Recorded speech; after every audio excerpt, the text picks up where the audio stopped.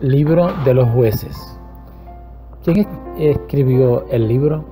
Fue Samuel. ¿Cuándo fue escrito? Entre el año 1500 a 1004 a.C. ¿A quién fue dirigido? A Israel, futuras generaciones y por supuesto también a nosotros. Y fue escrito en Jerusalén. Se narra la historia de Israel desde la muerte de Josué hasta el tiempo de Samuel. Este periodo durante el cual el pueblo desobedeció y se alejó de Dios repetidamente, se convirtió en uno de los tiempos más oscuros de su historia.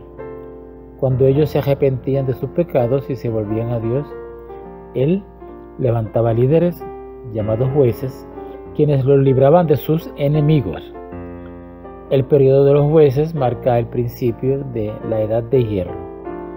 Israelitas, los israelitas vivieron pobres y en opresión por causa de rechazar a Dios y sus principios, mezclando la verdad con idolatría, toda una corrupción.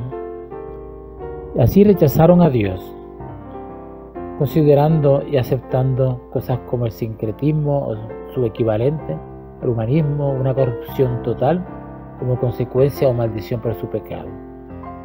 Esto Dios se lo dijo a Moisés antes. No obedecieron en echar de la tierra prometida a sus enemigos. El escenario de este libro se desarrolla en una época difícil para Israel, donde la decadencia, la apostasía y el pecado alejaban al pueblo de Dios el Señor levantó jueces para superar dichas crisis. En este contexto de declinación surgen los jueces como libertadores. Un total de 12 jueces. Y Débora gobiernan más de 300 turbulentos y sombríos años de la historia de Israel. Jueces finalizan con la instalación del santuario en Dan y así el desorden abominable de la nación y el deterioro político menguan. Se usó un método narrativo histórico para su redacción. ¿Cuál es la idea principal del libro? Es mostrar el ciclo del pecado, que es pecado, sufrimiento, clamor, salvación ¿Cuál fue la razón principal por la cual se escribió este libro? Como ejemplo y advertencia a las generaciones futuras. Los temas claves son la apostasía, la opresión, el arrepentimiento y la restauración. Y esta cubierta histórica va, va desde la muerte de Josué hasta el principio de la monarquía.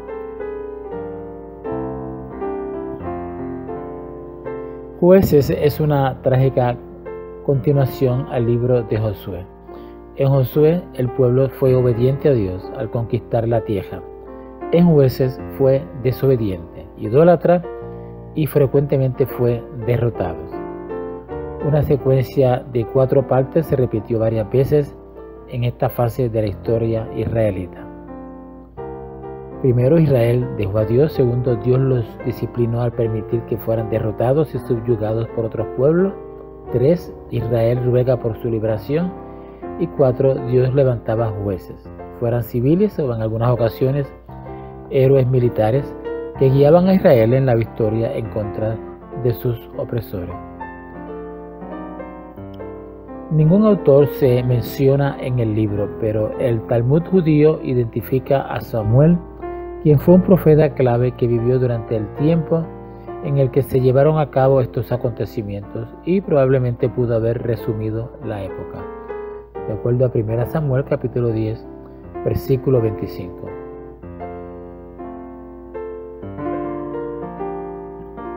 Jueces es temático en lugar de cronológico. Entre sus temas principales encontramos el poder de Dios y la misericordia de pacto mostrada en la liberación de los israelitas de las consecuencias de sus fracasos.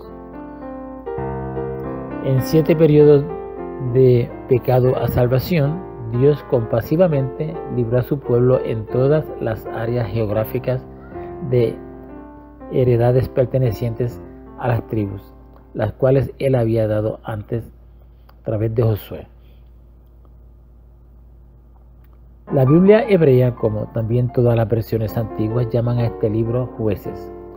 En la cultura hebrea, un juez no solo era una figura judicial, sino también un líder en muchas otras áreas, inclusive en el ejército y en puestos administrativos.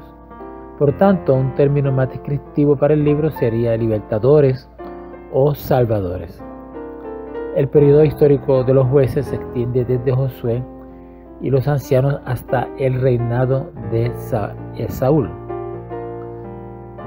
Los detalles que fueron escogidos para ser incluidos en este libro demuestran una filosofía específica de este periodo histórico que puede resumirse en cuatro etapas, que ya las mencionamos previamente. Los siete jueces llamados secundarios están intercalados entre ellos y son Samgar, Tola, Jair, Ibsan, Eleón, Abdón y Elón. El anuncio a la madre de Sansón de que ella daría a luz un hijo que guiaría a Israel es una figura de la anunciación a María sobre el nacimiento del Mesías. Dios envió a su ángel a ambas mujeres y les dijo que ellas concebirían y darían a luz un hijo de acuerdo a Lucas capítulo 13, versículo 3, quien guiaría al pueblo de Dios. La compasiva liberación de Dios a su pueblo, a pesar de su pecado y de haberlo rechazado, presenta una ilustración de Cristo en la cruz. Jesús murió para liberar a su pueblo, a todo aquel que cree en Él, liberarlo de sus pecados. Aunque la mayor parte de los que lo siguieron durante su ministerio, eventualmente se alejaron y lo rechazarían, él aún permaneció fiel a su promesa y fue a la cruz a morir por nosotros. La importancia de este libro en la Biblia es que jueces señala el problema de Israel cuando no tenía rey. Pero el establecimiento, el establecimiento de un reino no los llevó a un estado de perfección Solo cuando David ascendió al trono pudo Israel soltarse de los trágicos ciclos de desesperación y deterioro. David, el escogido de Dios, fue tipo de rey que un día llegaría, que es Jesucristo. Jueces habla también de la necesidad de un libertador o salvador.